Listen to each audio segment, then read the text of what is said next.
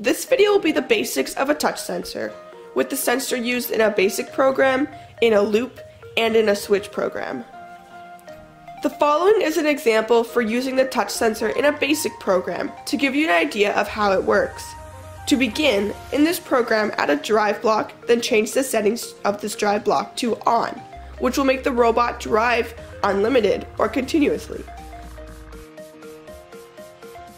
Then add a wait block and, as seen here, select touch sensor, compare, state.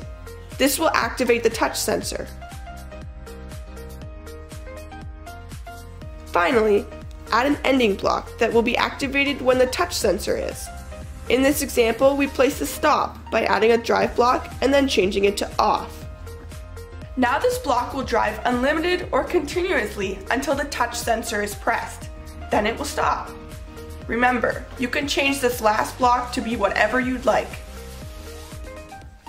In this example of using a loop with the touch sensor, the robot will run the program within the loop until the touch sensor is pressed.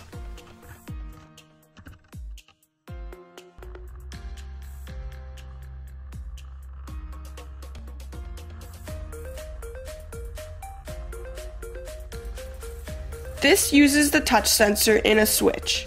If the touch sensor is activated, then this programming will be run. Or if the touch sensor is not activated, then this section of programming will run.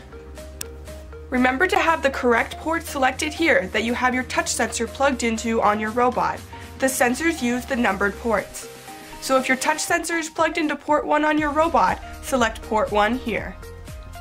And that's it! There's your introduction to touch sensors. Next video will be all about color sensors. Good luck programming!